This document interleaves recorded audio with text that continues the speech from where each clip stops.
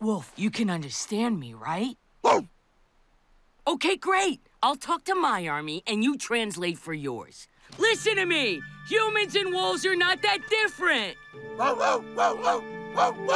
We're smart but violent! We're especially mean to our own kind. Maybe we finally found the one animal that really gets us.